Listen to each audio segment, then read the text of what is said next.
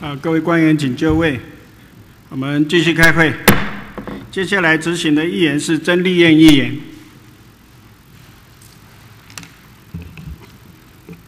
啊，谢谢主席哈，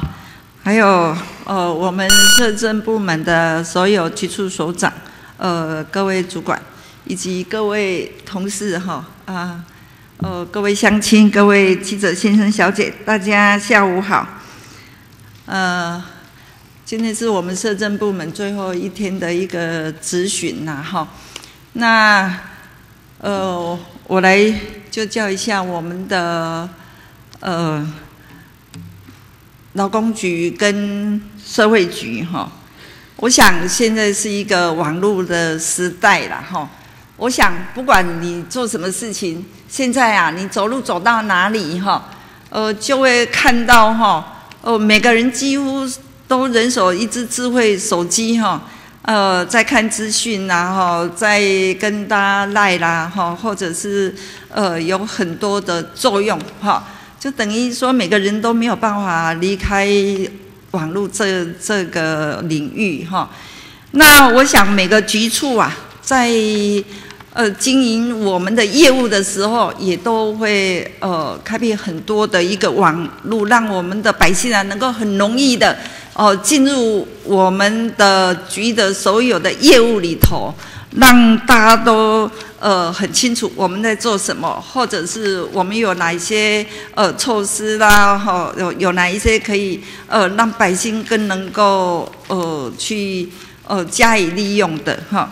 那我想我们的呃社会局啊，社会局我们一个网站呐，就是属于这个高雄市新移民家庭服务中心呐，这个简介里头啊。呃，我们这个前金新移民家庭服务中心，呃，应该已经是转到林雅区了哈，是不是？是不是？简单回答就好，有没有？姚局长已经转达到林雅区了了哈，但是在我们的网站里头啊，我们还是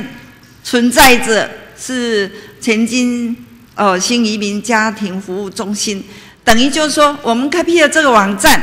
但是。我们到底把资资讯上去了以后，未来有没有在经营？未来有没有在呃加减东西进去？好像没有，好像没有。不然的话，你你的呃服务中心已经移到林雅区的，我们还是同样的还在新兴区了哈。那我我我觉得这样子的话，呃。这个脸书就没有什么意义，这个网站就没有什么意义了哈。就是我们的高雄市的妇女资资源网哈，好不好？哦，我想你们要要要改过来了哈，不要让我们的新移民朋友哈，哦，跑到前金区，哎，前前金区到林雅区哦，林雅区是非常的长，好，到几乎到凤山。到高速公路以外了哈，那你这样子一下子西，一下子跑到南，非常的遥远哦。我想，呃，我们已经在便民了，然后又制造不便民的一个动作哈，我我想这样是不对的啦哈。有没有？我们现在还是在呃前进新移民呃家庭服务中心哦，还没有改过来。哦，那电话到底对不对？我没有去 check 哈，就不知道了哈。好，下来我们看，呃，还有啦，哈，就是说我们我们呃经营这个 FB，那我们到底去看这个网站的到底多少？大概看起来不多了，哈。如果只有二十三个人去按个赞啊，哈，啊，或者每一每每一次大概都是因为。一到五个人在按赞，就代表很少人上这个网站哈。那我们需不需要要多经营一下？甚至有时候没有哈，没有半个赞哈。那好，我们呃社会局是这样子，那我们的劳工局也一样哈。我们家好康粉丝业啊。也是只有几个人在按赞而已哦，最多我们看起来只有十七个了哈。那最少只有两个哈，所以这个信息是要给谁看的？我们到底经营这样子一个网网站的效率在哪里？你们有没有检讨？有没有专人在负责？有没有专人在负责？局长，劳工局局长，来，请李局长答复。没有专人在在在做，在经营啊，简单就好哦。是我们那个小狼男孩向前写一个 FB 哈粉丝专案，专业哈是有一百零年开始就有专人在做服务，有有啊？你觉得那么少人在看有没有作用？我们的这个小狼男孩 FB 哦，我们的粉丝有四万九千多哎，四万九千多。为什么按赞的都都很少？代表不好看，代表没有重要，代表……哦，对不起啊，那那是另外一个，另外另外一个那个。教本那那个是教本后刚粉丝页，啊，这这边来讲哈，那个我们上去看的人数不多啊，是是是是是，加强一下好不好？好，我们也检讨看。OK，那下来哈，我们希望就是说，我们视障的朋友哈，有大概在。目前有五万七千多人哈，那十五到六十四岁的这个劳动人口大概有两万七千人，那百分之十二是先天的一个视障啦哈，那百分之八十八是后天的，那呃就业的市障的朋友哈，大概有九千八百人呐哈，那我们劳动部啊，特别为了鼓励我们市障的朋友能够哈。多元的发展他们的工作了哈，那有拍了一部微电影哈，看见来说明，只要我们有心呐哈，那视障者一样能够走出一条不同的一个人生的道路哈。那这个电影在讲一位视障者哈，靠着自己的敏锐听力哈，终于成为一位优秀的钢琴调音师哈。那当然，呃，视障者要做的哈。应该很多哈，甚至可以弹钢琴哈。那我我觉得就是说，呃，我们可以哈，呃，想想很多的一些来帮忙我们视障朋友能够哦工作的，好，能够引导他们的，能够让他们走出来的哈这个职业，我们可以用心的去帮忙啦哈，让我们的视障者哦能能有更多的一个工作的一个机会哈。那，呃，不要哈，让我们，我想我们所所能想到的了哈。如果你没有用心去帮忙的话，我们所能够想到的，就是视障者，我们就会想到说，他只有哦，他眼睛看不到，哈，眼睛看不到，好像呃，世界就末日了，他只能怎么样？只能去做按摩的一个一个工作了哈。但是如果我们今天，有很多的哦，女性的一个哦视障者，他们很多都都是做这一行的一个呃工工作，这一行以这一行为他们的职业了哈。那在这一行当职业的时候，因为我们有很多的按摩院哦，几乎都是在做一些是呃比较哦呃怎么讲就有色的一个。呃，行业哈，那虽然呃政府有在规范，但是还是有蛮多的这个按摩院哈，所以我们的市上的女性朋友有非常多都会被误认哈，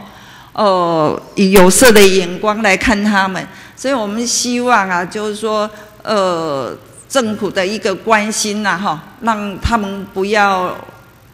让社会的一般的眼光啊。把他们跟色情哈呃连接在一起，那这一点我们等一下还是请那个我们的局长嗯来回答哈。那下来哈我要谈到哈哦我们生产业，我想呃现在有很多的年轻人呐，越来哈他们不晓得就是说是什么原因。那以我们在社会上再看，有的刚在结婚的那一天，哈，之前啊，可能在那天也就会告知很多的亲朋好友，他们结完婚以后不生小孩，好，那我们也知道很多人哦都愿意当顶客主了，有很多的呃这些年轻的朋友，他们不愿意结婚，他们在一起，但是他们不结婚哈。第一个，呃，他们没有这个经济的一个收入了哈。那第二个，可能未来生孩子的话，会给他们非常大的一个，哈，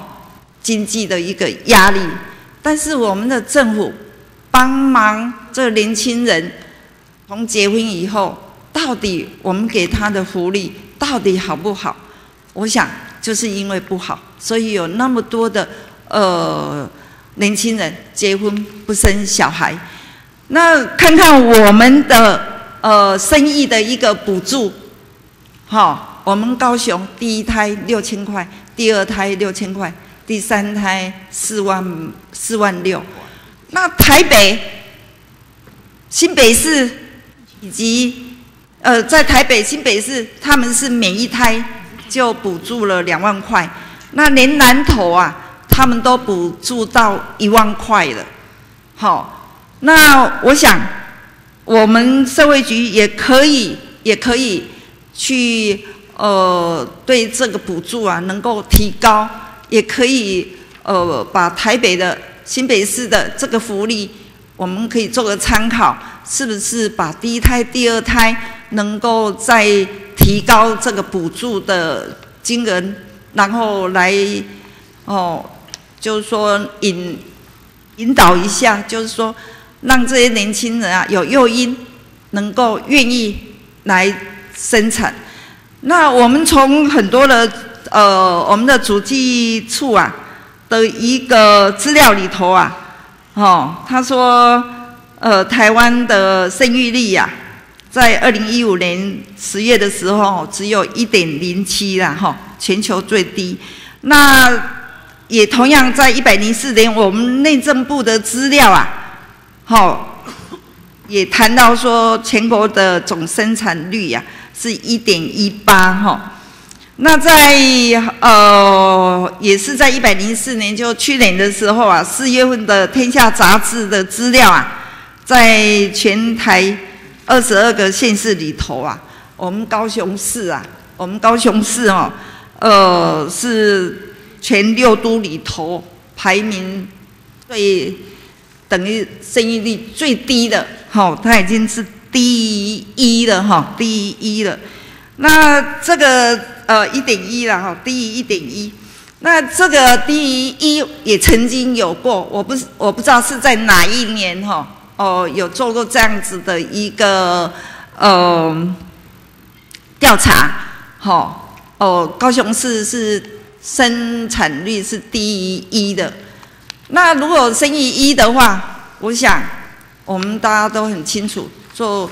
第一的话，怎么样去传宗接代哈，这个是一个很大的一个问题，所以人口数啊会越来越少，越来越少哈。那这个要怎么样去有诱因的来让我们的年轻人哈能够？多多的哦，增产报告。我想我在很多的呃结婚的场所啊，我都会来鼓励我们的很多的年轻人，呃，能够增产报国哈。但是增产报国也要一点诱因呐。就我讲的，没有诱因的话没有用。就像我现在来提一个一个简单的一个例子了哈，就是说我们有一个呃保姆的托育的一个补助了哈。那零到两岁，哈，一个一般的家庭补助三千块，哈。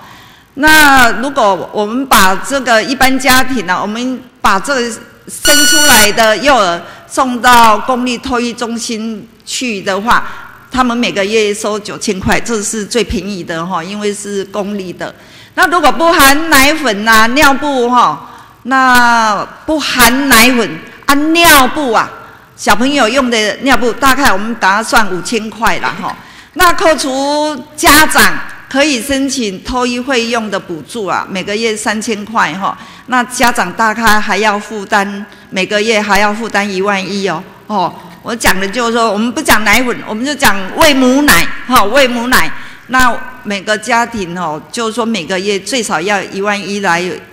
育儿哈，来育儿。那两年下来的话，大概需要二十六万四千呐哈。那我们如果假设了哈，假设就是说，呃，这家人两个人哦，因为小孩子送给公公立的一个托儿所来照顾的话，来再两分钟。如果他。每个月两万六，其实有的两万六算多一点的，有的年轻人呐，两万、两万二的哈，非常的多哈，非常的多。那两万六来讲的话，已经算蛮高，也蛮高的了哈。呃，那如果是这样子的话，减掉两人最低的消费哈，就是说我们以主计统总处调查平均每人。哦，一个月的消费支出是一万九千九百七十八元来计算的话了哈，一计就大概是两万块了哈。如果是这样子的话，那他每个月只剩下一万两千零四十四块了哈。那如果零岁到两岁哈，夫妻两个人都在上班，选择都去托育托育的话，那么全家每个月就只剩下多少？一千零四十四块可以应用哈。那你想想看，只剩下一千零四十四块钱哈，那怎么在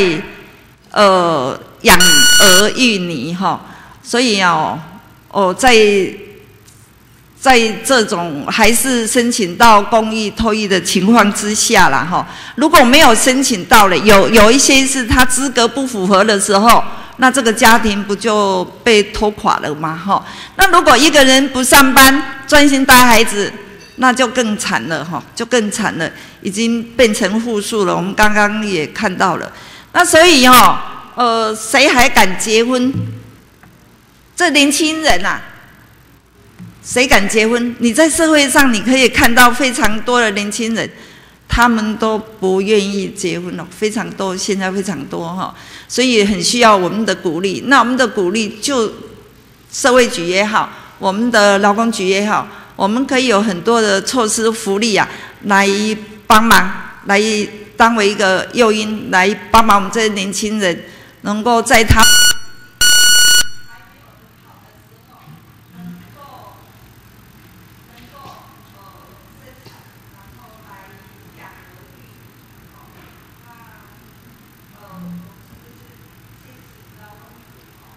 来，请李局长答复。呃，谢谢主席，谢谢曾议员了哈。那么非常感谢这个曾议员跟我们一样哈，同样关心这个视障的就业了哈。那么陈总刚才这个议员所提到了哈，那么视障者不只说怎么做按摩而已的哈，应该还有其他这个职业可以开发了。所以我们也是往这个方向，除了按摩之外哈，包括说哈，呃，开发我说电话客服啦、广播人才啦、盲店训练啦、山区应用，还有生命教育讲师等等，尝试用不。各种不同的方式啊，让这个这个让这视障者可以工作领域啊可以扩充了哈。不过在我要强调说，在市场的部分，我们觉得还是有需要说啊继续给予辅助了。因为哈，这按摩部来讲，第一个它的终点会比较高的，一个小时啊可以达到六百块的，而且它它可以做的门槛低啊，还可以在家里工作了，而需求它它的市场需求蛮大的，所以我们觉得说啊，这方面还是可以继续推协助他们推动的哈。那么为了说了能够改善说啊。让提升他们这在在这按摩方面的这这这些有关这这个设施等方面呢，我们有几个措施啊，给给予协助了。第二就是说，那么可以帮他改善设施设备，还有改善按摩的环境啊。另外就是提升按摩，就是办理相关的训练了，他提升他的按摩技能了。那么我们也办理了相关的讲座了，啊，再教他怎么客去客户经营的智能，还有行销方面等等哈。那么用各种方式啊，那来来改善他最后这个。提升他的技能哈，来改善他这个这个按按按摩按摩的这个这个环境等等哈啊，让哈他的客源越增加。我们还是多方面来进行哈，谢谢。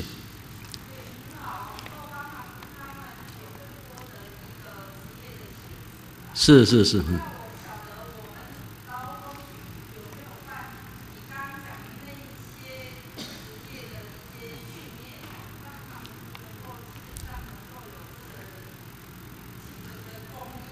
有有有我们我我我刚念我们都有在推都有在推嗯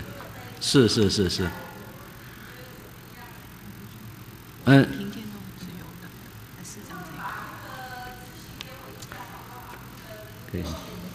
好可以。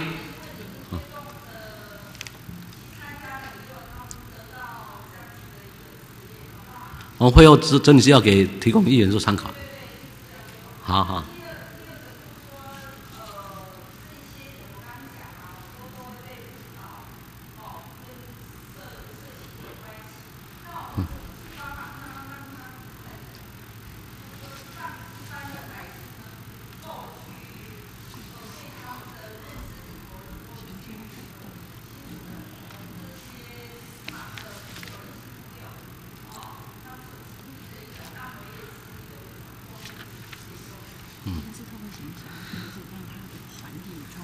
我们现在是朝两个方向哈，一个就是说哈，那个提供补助经费，让他们这个这个提供按在按摩工作的地方哦，他的这个这个这个环境能够哈，让人感觉到很明亮啊，不好好好像刚别按摩按摩所说了。另外就是我们会帮他们办所行销的活动，行销活动。那么借这个机会哈，让社会大众了解什么叫视障按摩是这样子。啊，对了，行销宣导没有错哈。是是是是，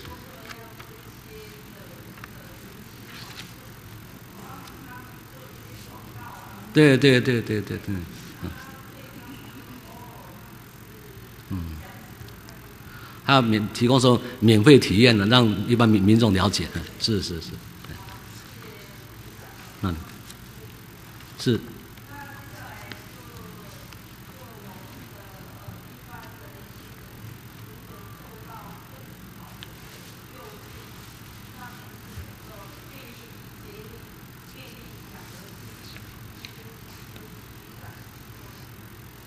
好，请局长答复。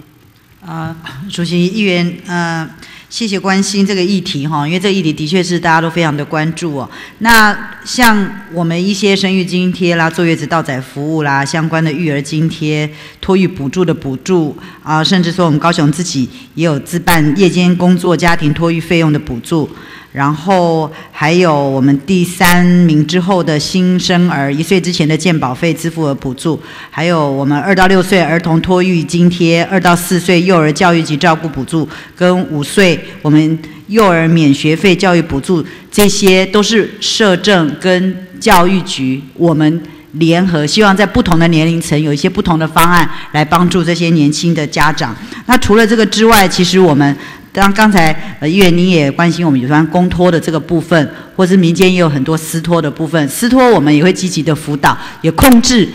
不是控制，就是辅导，然后呃注意，啊要求他们在收费的这个部分，还有他们的服务的品质跟安全跟专业度的这个部分，那甚至还有一些我们现在广设公共托婴中心，这也是我们全国最多的这些育儿。呃，育儿资源中心，这是我们全国最多的相关的据点，我们都还持续的在增加当中啊。那另外也告诉议员跟议员报告一个呃最新的好消息，就是我们中央也很支持这样子的一个工作的重视哦。我们刚刚通过的哈，五月三号经过立法院三读刚修正通过的，是我们儿童及少年福利与权益保障法的第二十三条，呃，向下有规定。雇主哈雇佣的这个单位，雇佣的受雇者如果超过一百人以上的雇主，他要设置原本只有补给乳室哈，然后再现在要求我们托儿设备或提供适当的托儿措施。旧的法是两百五十人以上的的雇雇主单位必须要做这样子的服务，现在是下降变成只要一百人雇佣一百人以上的雇主就要设补给乳室、托儿设备。或提供适当的托儿措施啊，这个也是其实，在在在三读通过之前，高雄市就已经优先跑在前面。我们积极去跟我们的不管是工业区或者一些大型的企业，我们都有主动去拜访，跟他们洽谈，希望辅导他们用民间企业自己的经费，然后社会局我们相关的一些专业，然后然后呃协助他们。如果他可以为他的女性劳工设置这样子的一个环境，他在雇佣他的他的工作人员工作也会比较安心。那我们也希望借由这样子的方式，鼓励更多的年轻夫妻，呃，甚至说女性的从业工作者，她呃出来工作的门槛跟她的生产的意愿，啊，跟她他未来愿意敢再继续生孩子这样子的一个诱因都可以提升哦。所以我想，除了我们用生育津贴要提升这样子的方向之外，我们同时也想了很多其他的方式。那不外乎就是，其实我们共同都很关心，就是呃。我们生育率的这个部分，那其实从一百零三年之后，我们高雄的生育率已经已经是一以上了哈，所以其实也是有小小的微幅的进步啊，但是还是很大的压力，我们还是要持续努力。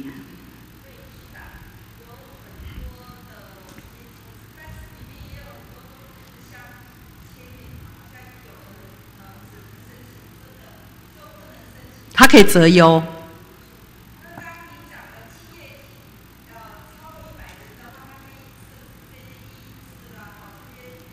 托儿措托儿措施，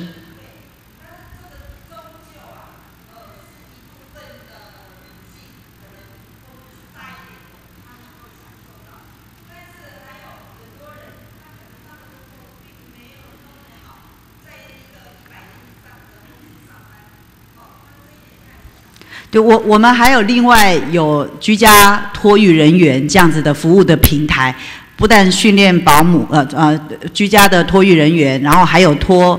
居家托育的一些相关的服务。那这一部分的一些保姆是所谓的托，呃，所谓的保姆这些托育人员，其实我们也有协助。没和限制监督督管的一些相关的机制，就是让这些年轻妈妈们有比较多种的选项。你如果没有办法送去公托，你如果你觉得私托太贵，你如果你的公司不够大，没有设这样的托育措施，啊，你的家人没有办法帮忙带小孩，或是你的配偶其中一位没有办法自己带小孩，他也可以选择用保姆，或选择用所用托育人员。所以其实我们希望更多元的一些方式。那其实呃。现在教育局也有在推所谓的非盈利幼儿园，它是一个成本上或者更在地化的一些模式。其实有很多不同的解决方案，是市政府都很努力的在想办法来来。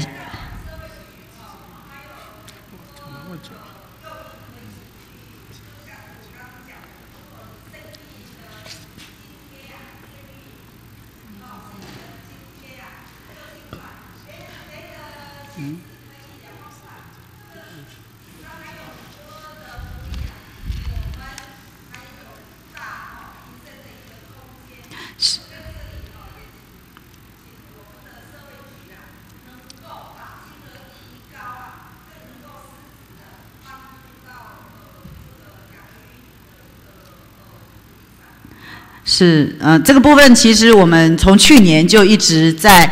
在呃跟医院做这样子的沟通，就是我们现在发现，其实从中央到地方，大家的调查结果发现，嗯，你生第一胎的这个津贴，它最大的表现可能会在他把孩子的户口迁到这边来，好，这样子的一个状况，其实对后续长期来讲，我们觉得这个。帮助可能是比较有限，比较大的帮助，甚至成本比较高，是帮他们设置服务。所以我们现在会比较希望不要推现金给付的服务模式，而是推服务平台提供的这样子的服务模式。啊，但是当然有很多的明代可能会有不同的想法，所以这两天也都有提出来。所以我想我们再带回去，我们一并做检讨。好，谢谢。好，谢谢郑立医院议员的执行。好，接下来执行的是高敏玲议员。呃，谢谢主席。呃，我们关心高雄市政的市民朋友，还有我们今天市府各相关局处的各位局处首长，呃，大家午安，大家好。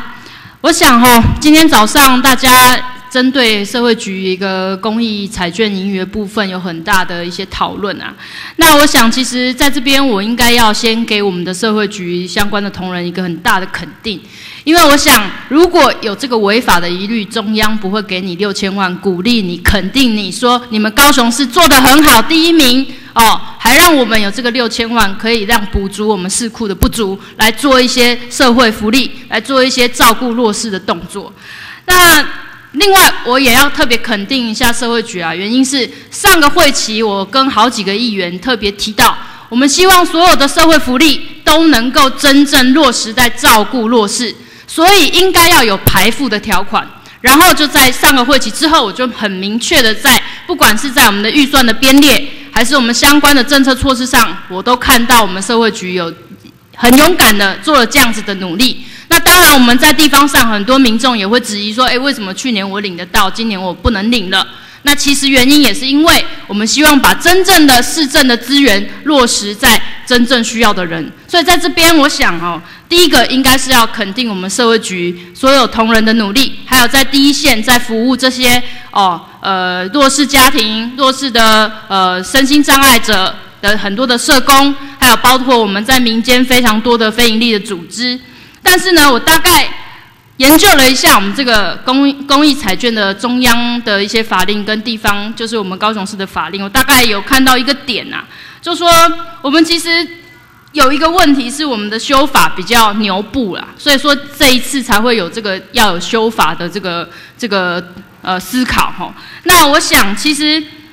今天非常明确的是说，我们这个现在现在的这个高雄市公益彩券营运基金设置管理及运用自治条例。其实它的修正是有必要的，好，为什么？因为主要就是因为行政院里面已经有讲了，包括我们现在其实很多社会的支持、社会的弱势，需要社会福利来照顾的族群或项目越来越多、越来越广泛，包括了我们的受到家暴的、性侵害的、性骚扰的，好，甚至有一些因为毒品滥用的一些高风险的家庭，他们甚至这些孩子们。都需要很多政府公部门的资源来协助、来支持啊，来帮他们导入一个正常的一个正轨哈。所以，当然还有，也是因为我们议会呃，在针对我们这个原住民的代表的部分，希望能够把我们族群的平等的这个意见放进来，来一起来运用我们这个公益彩券的盈余。所以。自治条例要修正，是因为有时空的背景，是因为有新的社会福利、呃社会支持的新的需求的项目，所以这个修正是势在必行，而且我们之前所做的并没有违法的疑虑，所以在这边我想哈，也在借这个机会跟我们所有的市民朋友来澄清，同时也肯定我们的社会局。但是呢，我还是要提醒提醒一点哈，其实我们看了中央的法令，它大概从八十四年定定以来。九十七年、九十六年都有分别修订，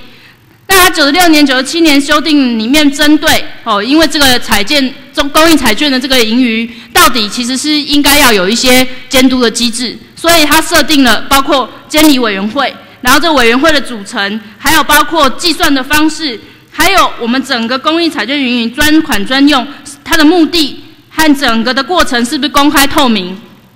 包括这个经销商的遴选的条件。包括了我们这个各资的保密哦，得奖人的各资保密等等。那九十七年其实又针对第六条去做修正，那主要就是让我们的地方政府，包括高雄市政府在内，能够有一个法条可以援引，有所依据。可是呢，我去看到，哎，我们怎么高雄市政府是沿用过去高雄市县市合并以前的法条，然后一直没有修，一直到一百年现在才要修，现在已经一百零五年了哈。所以我想哈。基本上修法是值得肯定，而且我们完全都依照中央的法令在运用这笔好公益彩券的一个盈余，同时也用在很多社会福利的照顾上。但是我们的修法有点好太慢了，没有跟得上时代，也跟我们的这个中央的法令有一点点时时程上面的脱节。所以我想哈，这个是社会局应该第一个要检讨的啊，但是。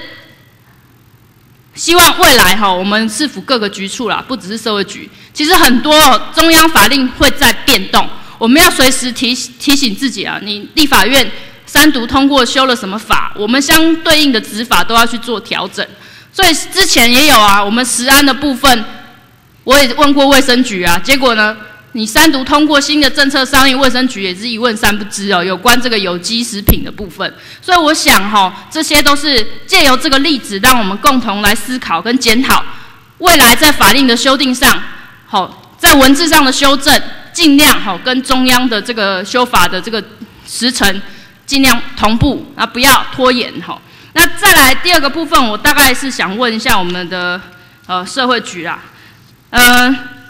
前几个会期，我大概有咨询过有关公共托育中心。那其实我也知道，社会局很努力哈，其实希望每一个区，在社区也好啊，公共托育中心也希望每一个每一个区都区区有日照来照顾老人，然后照顾这些年长的银发族。那我当时也问了一个公共托育中心，就是我们冈山区只有一个公共托育中心，那目前是只能容纳五十个人。那这个部分哈，我希望能够未来好能够再提升。第二个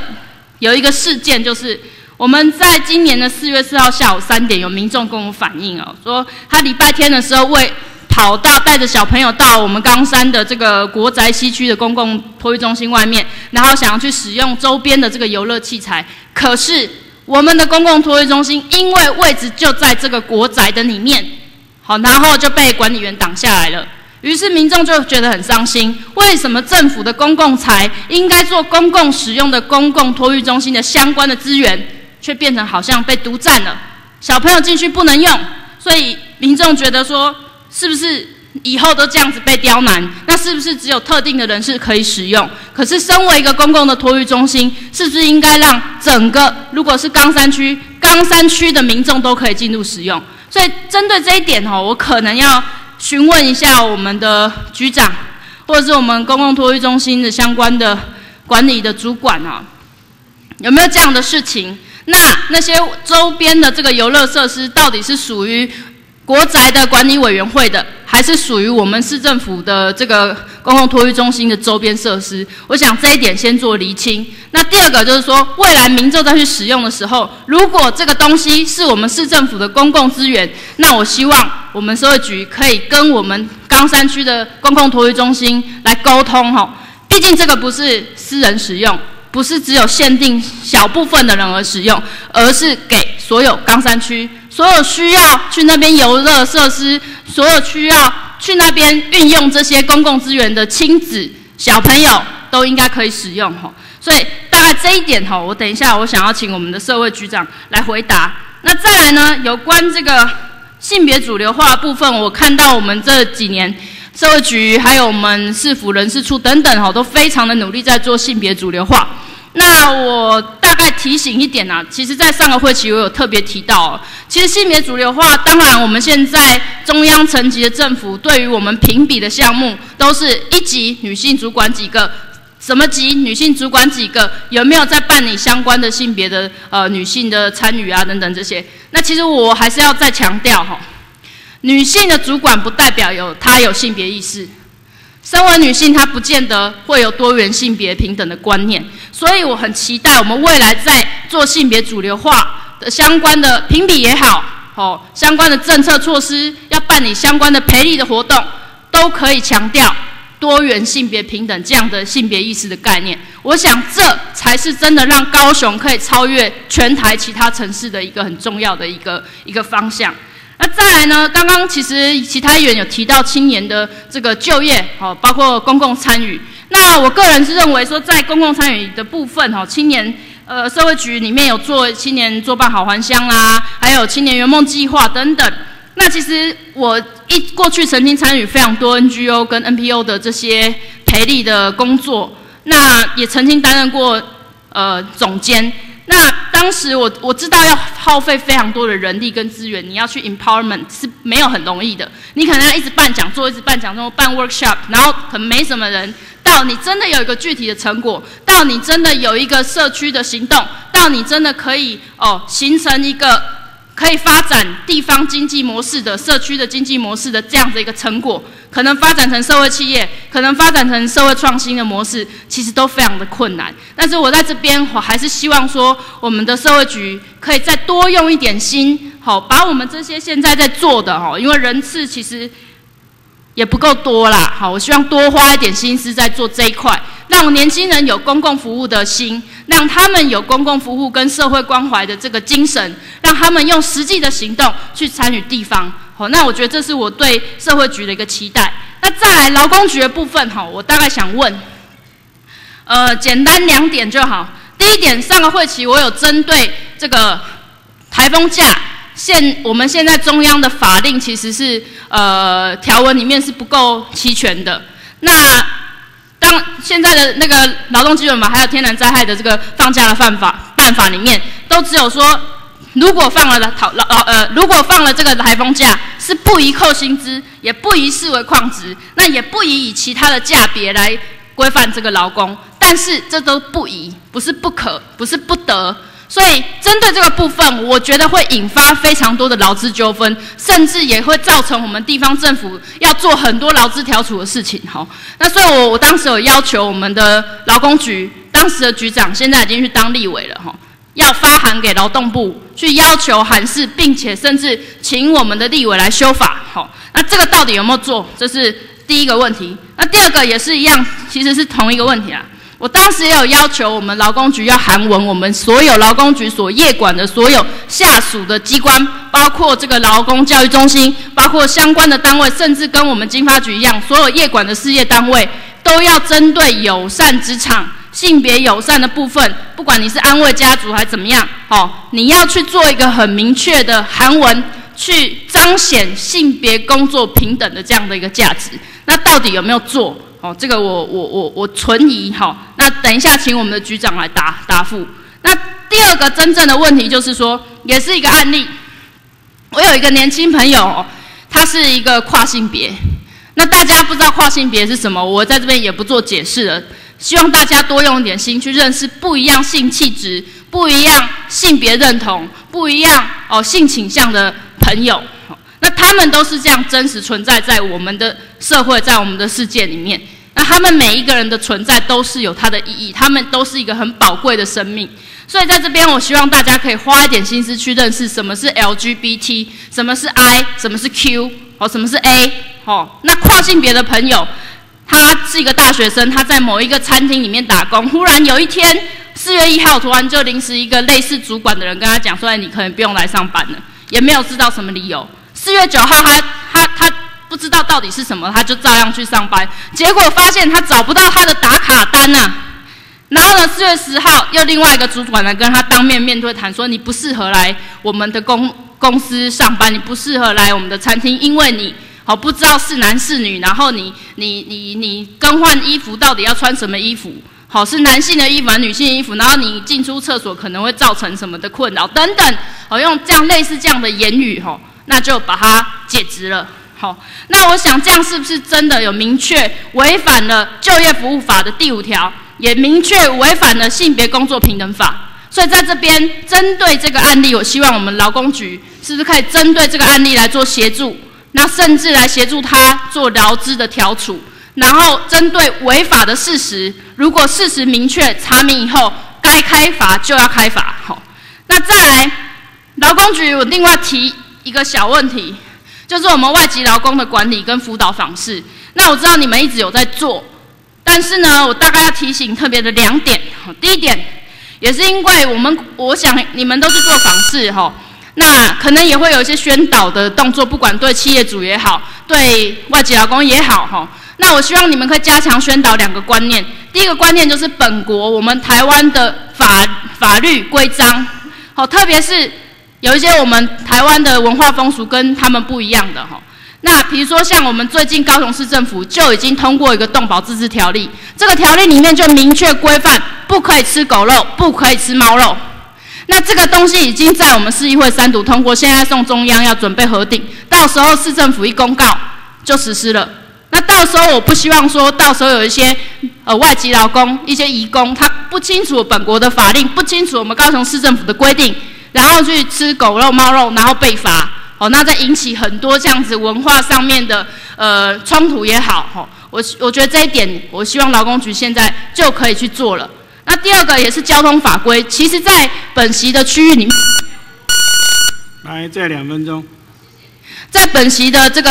呃负责的选区里面哦，大冈山地区有非常多的工业区，也有非常多的工厂。那其实外籍的劳工工作者非常的多。那我想在这边也希望我们的劳工局可以针对这些劳工们哦，你们去访视的时候也好，去辅导管理的时候也好，针对交通法规再跟他们做一些宣导，因为我们常常看到太多民众反映了，啊，我自己也常常看到，哦，我们那个冈山区都是很多工业型的大型拖板车拖，哦，还有这个连接车在动，可是我们的外籍劳工可能不熟悉，不知道怎么看红绿灯。我不知道怎么看标志，然后他们很长哈，就是会骑车，然后就很危险呐。你可能看不懂就窜窜出来，然后都大家都闪避不及，实在是非常危险。所以为了保障我们外籍劳工他们的交通安全，也为了保保障我们本国台湾我们高雄市民的交通安全。我希望这一点劳工局在做外籍劳工的管理跟访视的时候可以加强。那最后我想要点两个两件事情哦，有关特委会跟原民会，我看到你们做的这些业务报告很认真呐吼。那我想特别提哦。呃，其实我们高雄市有一个公用频道三号，就像现在市民朋友在看我们咨询的这个频道一样。那我好像没有看到针对客家或针对呃原住民的这样子的呃文化推广的一个节目啊。那可能它掺杂在其中既有的节目里面。那我希望，也许我们可以朝这个方向去做。那同时，客委会我知道我们有在在这个高雄广播电台有这个节目嘛？那其实我们可以在公用频道是不是思考？我们多花一些心力去推广客家跟原住民的文化，同时呢，其实我有在听广播，哦，我会听 ICRT，ICRT 就有一个节目叫 We Love Hakka，一边讲英文一边教客语。那我觉得这对很多青年或青少年，或者是一些哦有兴趣学习。好，这两分钟。好，我想哈，应该要广泛去结合不一样的资源，我们要跳脱那个既有的形式。我们不要想说，哎，我我我自己推广原住民，对自己的原住民伙伴、部落里面的好朋友，我推广我自己，我传承我自己文化啊，客家一样。而是你们要把你们文化拖退，哎，拓展出去，不只是我们本国的台湾的人民，其他其其他族群，我们还要思考外国人呢。也许外国人来旅游最喜欢的就是去看客家的文化，最喜欢就是去原乡的部落。那所以我觉得应该要多一点创新的思考，不要只限于我们如何传承客家文化，我们如何传承不同原住民族的部落文化。哦，这一点是我特别提醒。那最后还有一分多钟，我想针对兵役局的部分哈，局长哈，我想很恭喜你哦，即将要出任我们退服会的副主委。那呃，您是海军少将，出官拜海军少将。我希望啊，未来哈，呃，无论在接掌兵役局的局长是哪一位，我都希望您到中央以后，可以协助我们高雄市政府来做我们这个政军的联谊，还有包括我们的这协调沟通的角色。那在这边，我借这机会，代表我们民呃弥陀区还有永安区的很多的渔民朋友、养殖业者哦，还有我们很多的乡亲。呃，特别感谢我们国军陆军第八军团指挥部、第十军团指挥部，还有陆军步兵学校，还有陆海军陆战队，哈，很多的化学兵在协助我们，在做登革热的防治，哦，疫情的防治也好，还有在我们今年度的航海渔损，哦，很多的呃石斑鱼，然后石目鱼，哦，这个清运这些鱼尸啊，打捞啊，清洁啊，消毒的工作，非常感谢我们这些哦国军的协助。那所以未来我期待哈，虽然您已经高升了，未来您一定要做好这个中央跟地方协调的角色。那我希望未来我们的好，再一分钟。希望未来哈，我们的这个政军的联系跟这些哦，也许是天灾地变的时候要调度国军的时候，未来的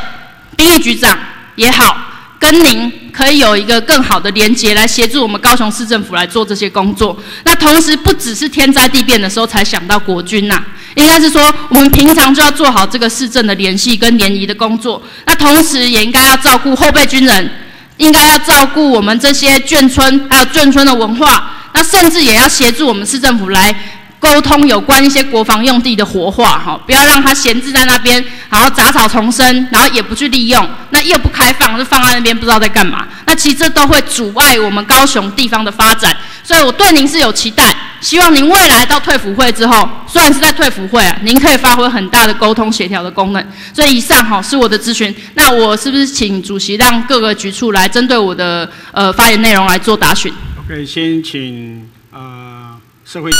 好，姚局长答复。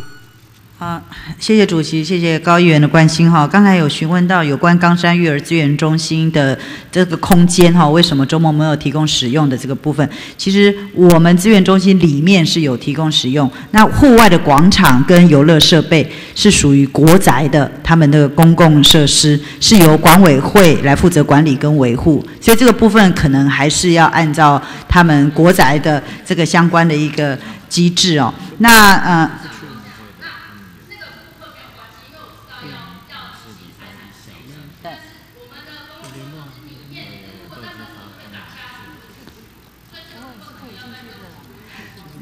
照理来讲，他应该是可以进去的。所以我们有点、有点困惑，如果说以后有类似情形，可以直接因为我们、我们因为我们工作同仁会在里面，如果有被拦下来的情形，应该是个误会。那我们回去再帮忙问一下，我们回去帮忙问一下。嘿，那另外就是有关性别主流化的这个部分哈，其实呃那个议员一直对这个部分都非常的走在前面哈。那我们其实，在我们今年的妇女馆，我们最近也才刚办了呃一个曾凯欣老师来到高雄来分享这个很很受到大众。呃，关注跟很大回响的一个的一个演讲哈，其实这是由同志热线来办理的活动。那其实我们现在这个这个空间，已经是走向更加多元性别的这个空间。过去都觉得它这是女人，这是呃这女人的空间而已，妇女馆的空间而已，女性的。而已。其实我们现在每一个月的最后一个礼拜六，是我们所谓的性别友善日，所以我们现在也积极在推这个部分。那除了这个之外，我们呃，整个市府，我们针对高雄市的同志公民运动、同性伴侣的所内助记，然后甚至说我们有些酷儿影展，它有办一些性别的一些同志的一些影片的一些介绍。那我们也有跟一些民间团体来提供相关的一些合作，跟对民众提供像电影导读啊、专题讲座啦等等，希望让社会。民市民对于性别这个差异跟多元家庭这个认识的提升，那针对呃我们在公部门里面，我们性别主流化的的，不管是公务人员或者各级的工作人员，其实我们不分性别，我们都要受到相关的一些训练哦。那我们这性别内容会包括你在政政策。规划的时候，或者你在执行的时候，你对性别的 sensitive 有没有到位？哪些才是性别的敏感度？哈，哪些才是性别主流化的一个做法？因为很多人觉得常常听到，但是不知道到底是什么。所以有关一些性别统计、性别分析、性别预算、性别影响评估、性别意识培力等等相关的课程，我们是会对于我们相关的主管做相关的训练。那我们目前。我们中央也规定，我们有一定的时数，所以这个部分从上到下，其实我们都有做相关的促的的的督导跟执行，也很落实啊。上课的对象不止女性的工作同仁或者女性的主管，其实男女一样都要上。所以希望借由这样子的一个过程，大家对于性别多元不对于性别的敏感度的这个部分，可以真的可以有效提升。我想这个部分跟议员做个说明。好，来劳工局。呃，谢谢主席，谢谢高议员哈。那么关于台风假的问题哈，我们在去年的十月二号有询问给劳动部，那么劳动部也在十月二十号有开会讨论了哈。啊，另外一个就是建立友善职场的部分了，我们在十月二十三号询问给市府各各单位。那么至于说那个在办理外劳访视服务的时候，那么配合宣导是相关的法令，像这个动保条例还有什么交通管等等，我们配合办理。至于那个个案的部分，是不是请请议员呢会后提供给我我们来处理好不好？谢谢。是可以，没问题。是。来，兵役局。好，谢谢主席，谢谢议员啊。刚刚针对议员的那个指导哈，有关不管是正经联谊，或是后备军人，还有眷村农民的。局长，你麦克风听不到啊。哦，就是有关不管是正经联一部分，或是后备军人、眷村，还有农民的这个协助哈，我一定都会秉持这种精神，会全力以赴，好不好？谢谢。好，谢谢呃高美玲议员的执行。啊，接下来执行的是陈梅娟议员。好，谢谢主席，还有我们社政部门的各位局处所长哈，呃，我们议会同仁、关心高雄市的各位乡亲、各位媒体前小姐，大家午安。抱歉哈，因为我感冒，所以声音有时候听听不清楚，可以再跟我问一次哈。我如果你我咨询的东西，呃，刚刚刚刚谢谢我们高议员哈，有特别提到这个我们兵役局局长要高升到中央去哈，到退伍会。呃，其实我刚好也要提这个议题，然后那他刚刚也讲了，我想我就简短哈，我也期待了哈，我们兵役局局长如果高升到退伍会之后，对我们的地方的呃后备军人也好，我们眷村哈，还有农民这个区块哈。真的非常需要你们中央多一点益助跟关照了啊！尤其是你这既然从我们地方高升到那边，我想地方的生态或者生态民情，甚至是需要什么，我想你应该是最清楚。所以如果有能够基础基层能够高高升到地中央去，我想你应该对我们地方的帮助意是相当的大的，所以我们也对你寄予重望哈。那刚刚你高一也讲很多，我就不再重复。所以在这边也首先先恭喜你，然后但是也希望。你能够真的把我们的这样高雄的这些关爱眼神，能够多帮我们一些，好，我尤其是我们眷村这些老农民，好，有一些不平等的待遇，或者是该有的一些权益，然后都拜托你要帮我们既有的福利要守住，啊，该争取的权益要帮我们争取，好，我就是这句话，好，谢谢。那我想再过来，我要呃请教社会局哈。那个，我先请教一下，我们富民长青活动中心哈，一直我都希望能够把二楼哈，那个交大已经到我们左营分局去了嘛哈，那个地方我们一直在争取，希望能够扩建、扩充到二楼来哈。那也终于得到我们社会局正面的一个呃回应哈，那也一直听也一直也在做。我想要了解一下，说现在扩充的一个修缮工程，就是之前我有提到，特别希望你们能够增设一些呃呃亲子活动空间的部分哈，或者一些一些多功能的一个使用的部分，是不是局长你可以跟我答复一下，你们现在的进度是怎样？啊，请姚局长答复。啊，谢谢主席，谢谢议员哈。呃，目前富民的这进度，我们从去年我们跟警察局这边相关，我们这场地清完完成点交之后，我们现在目前一二楼的这个借用的手续也都完成了，我们的招标案也从也在在五月六号已经完成上网公告，五月三十啊结标。那我们目前再来的这个规划的方向，的确就像之前有跟呃议员所说明的，我们会以扩增。我们的老人福利为主，我们还会增加育儿的资源。那在合并规划的这样子的一个空间，我们就会呃很有特色的针对祖孙同乐这样子的一个区域来提供呃这样子的一个服务据点。那相关的经费也花了市府，我们极力争取，也市府也支持了好几千万哈，所以我们也希望说可以。加快我们的整修工程跟我们相关的设施设备的一个购置哈，那主要我们那边可能进度会稍微慢一点，就是因为我们要移到二楼，也是长辈的一些服务，我们有要增加无障碍电梯的这个部分。我我就是问这个问题，因为这个电梯好吗哈？这个电梯是 因为这一栋是一个已经十七年的一个建物了哈，所以它的水电啊、管路啦、消防啦等等，再加上要做电梯的这个部分，有很多的申请跟。工程比较浩大，所以呃，我们本来希望的骑程要更快一点，但是因为这几项原因啊，我们也觉得还是要把它做好比较重要啦。因为这个电梯的关系跟水电管路、消防这个都是没有办法快的哈。但是我们这个呃，目前的进度是这个样子，那我们持续会再加紧相关的一些工程进度。谢谢哈，很高兴听到局长。相当的认真在处理这件事情哈，我想也有照我们的意识这样来做哈。呃，我先代表我们地方来感谢局长哈。不过我想这个部分也要请你们能够持续哈来来努力了哈。那再过来我要问一下我们的北区长青，目前的进度到哪里了？哎，请由局长答复。嗯，谢谢主席，谢谢议员哈。我们北长青的部分哦，就比较没有那么顺利哈，因为我们。呃，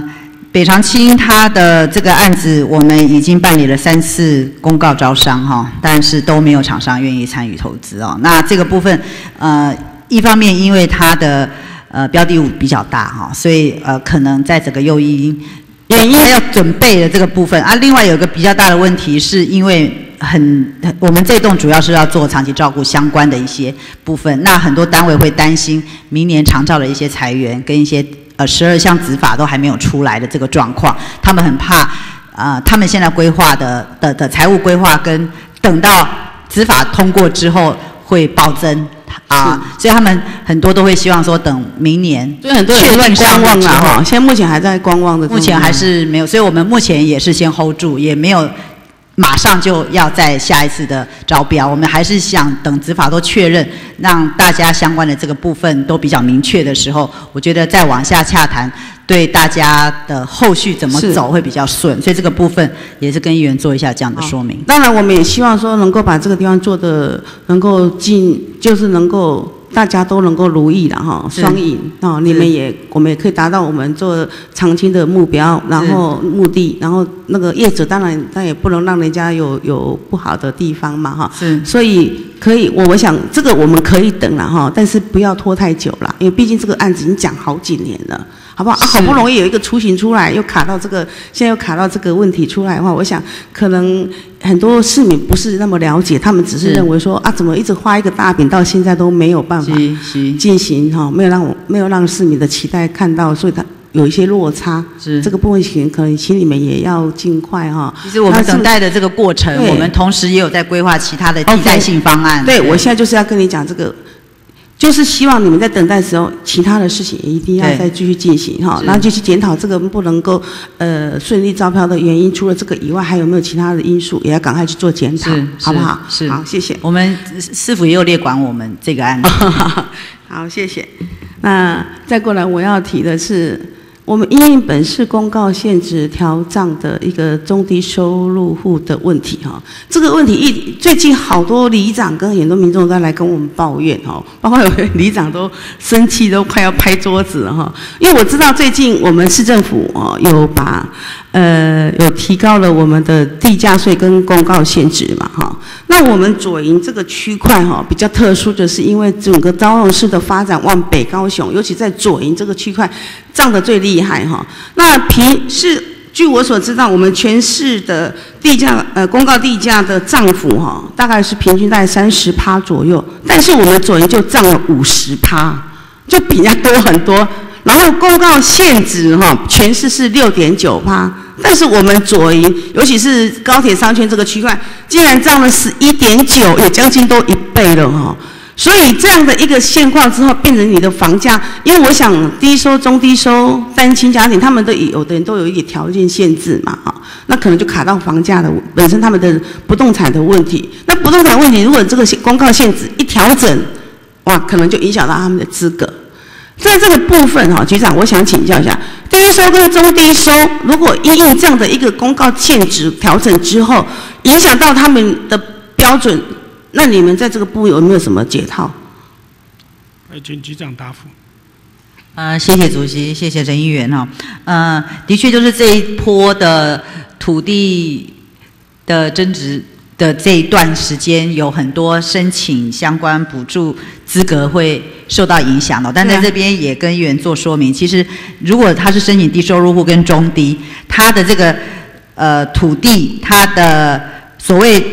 不动产，它没有增加，也没有异动，就是没有买卖这样子的一个状况，他是可以获得旧案保障的这样子的一个所以说，你现在意思就是说，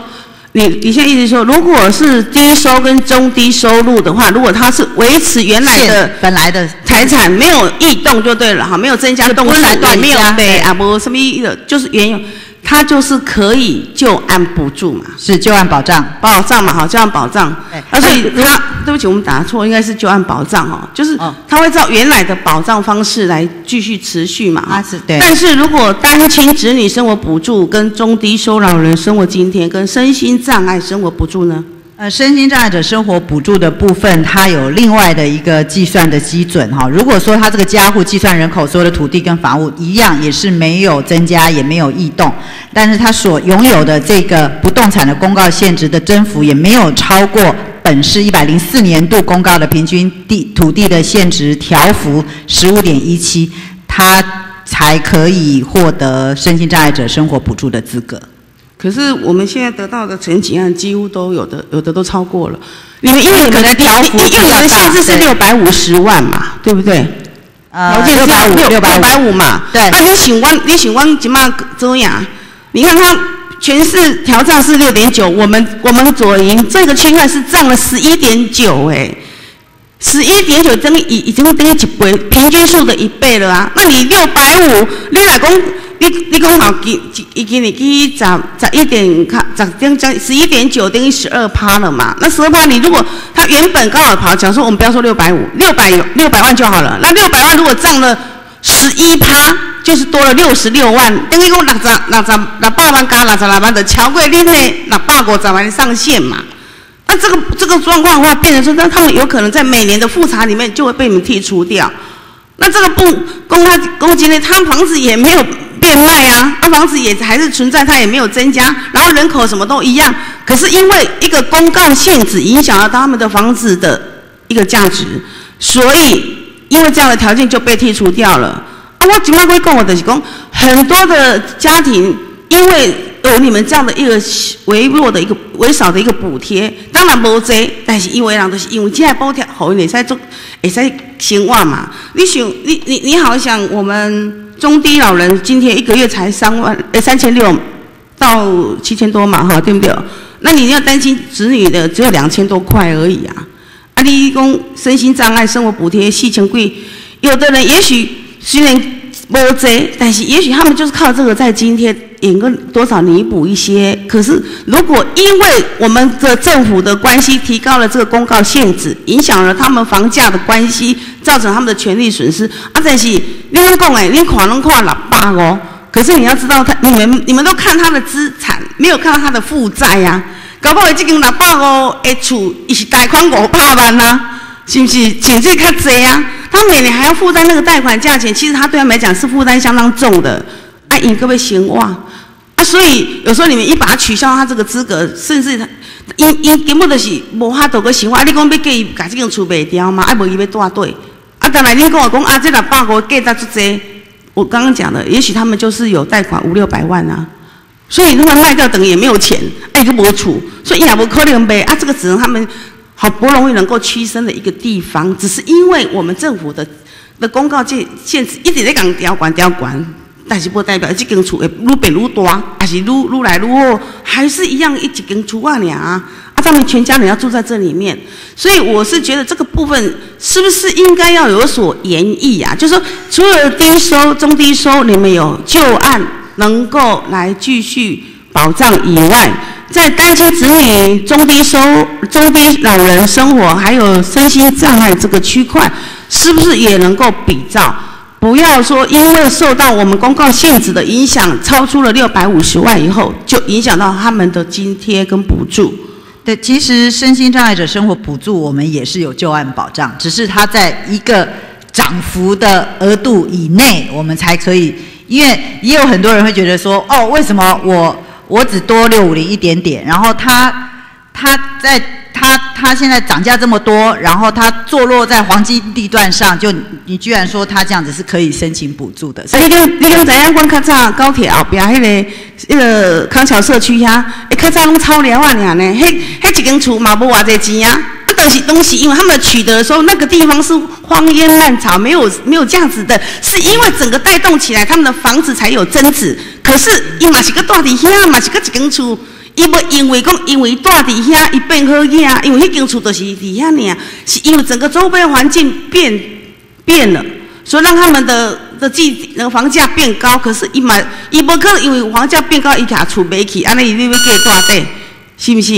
他说他还是要留在那边住，只是因为整个大环境影响，所以影响到他的房价。啊，伊若无卖进前，这拢唔是，这拢唔是钱啊！所以伊嘛是爱短。啊，我是讲这个部分是不是能够演绎比照低收、中低收的模式？只要一间厝若无增加，以一间厝为主，你讲两间厝我都无话讲。也讲阿公这段时间他又买了一个房子，增加他的财产。如果他只是一个房子，原来都没有改变过。即使公因为公告限制一点调整，是不是能够比照低收、中低收的方式，我们能够就按照常的来，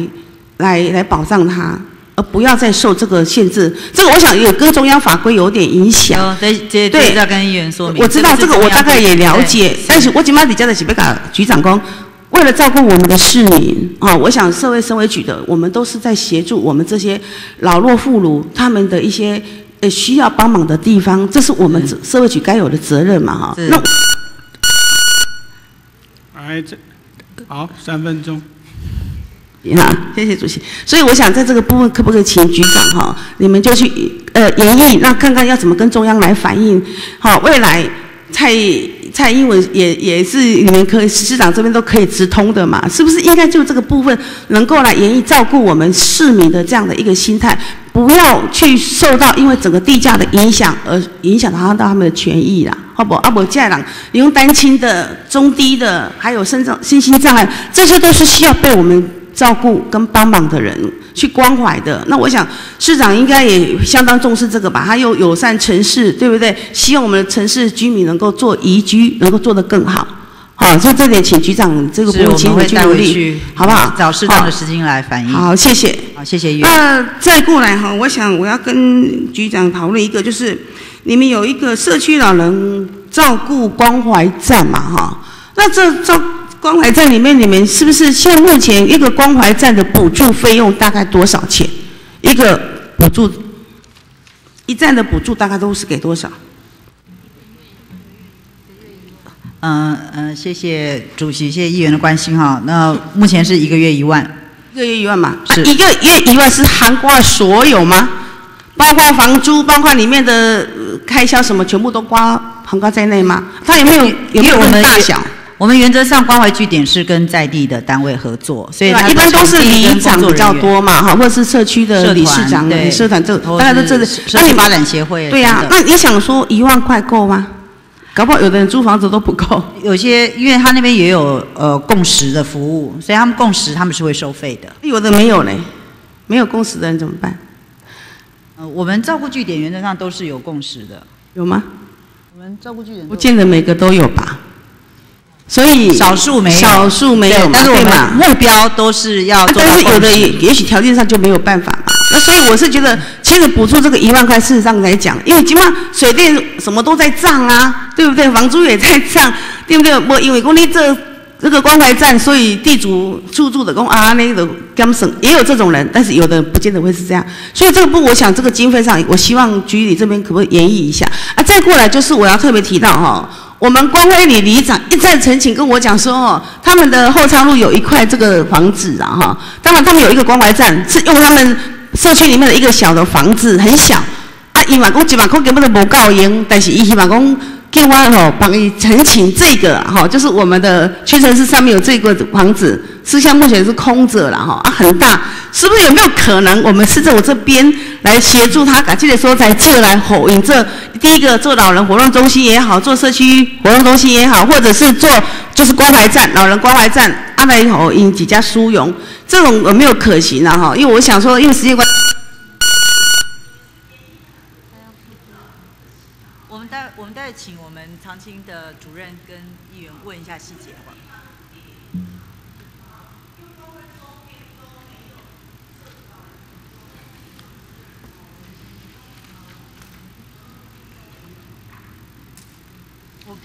待会来跟你。还有吗？好，再一分钟。谢谢主席哈，我想因为我们光辉里、举光里那个附近哈，还有庆昌那个附近可能。整个区块都没有，因为那边是寸土寸金的地方啊。其实像那种这种地方，在我们左南地区也相当多，包括我们左营这边也很多。根本在在偷的这鬼一个，根本都不可能够无挪一点东西出来给我们做这些老人关怀站啊，或者是一些老人活动中心都很难。那包括你没有补助，一个月才一万块，根本周把周没去呀。啊，所以我们这个部分一来，我希望租金这个部分是不是有没有办法在补助经费上能够再提高一些？第二个，雷工。如果他们有找出一些地点，有没有办法来协助，或者是你们去找一些地方，能够让这些有心要来为老人服务的，然后希望社区一些关怀站的人，来让他们来设置哈。所以我想我们里长特别提这个地点啊，你们可以到时候去看看有没有办法设置一下老人活动中心，或者是老人关怀站，或者是里活动中心。但这不是你们的，我民政局的。